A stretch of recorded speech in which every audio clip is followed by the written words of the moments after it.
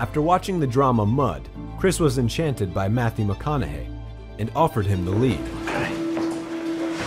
Now you need to tell me what your plan is to save the world. 15 years prior, Matthew had starred in Contact. If you come back, you'll only be four years older, but over 50 years would have passed here on Earth. Is there any possibility? I don't know, some some clever way we could maybe, I don't know, jump in a, in a black hole. Came back to years. Before shooting, the actor and the director were apprehensive about working together. Matthew thought that Christopher was a perfectionist and a dictator on set, while Chris imagined McConaughey to be a wild and undisciplined playboy.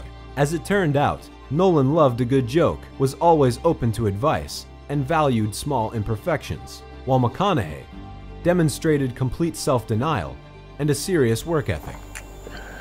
Mankind was born on Earth. It was never meant to die here.